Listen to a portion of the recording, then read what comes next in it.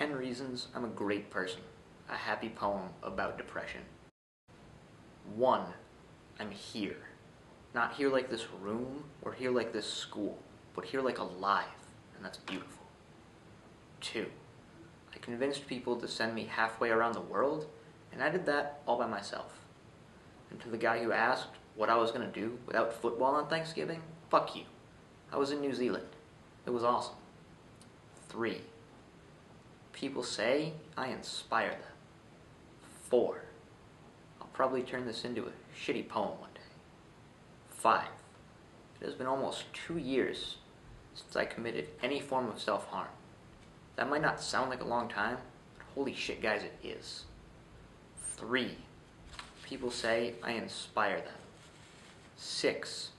I have friends that care about me, and they inspire me. And 3. People say I inspire them, but I wouldn't be the great person I am without the great people that made me who I am. And six, I have friends that care about me, and because of them, seven, I know the last time I was happy. Three, people say I inspire them. Six, I have friends that care about me.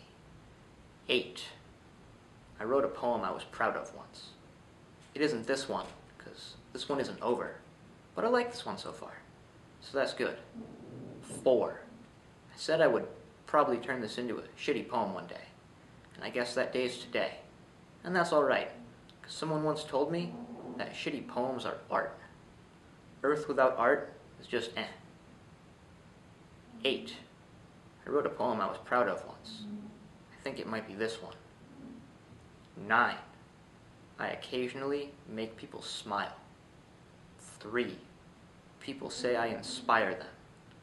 Six, I have friends who care about me. Three and six equal nine. I occasionally make people smile. Ten, I will be okay tonight.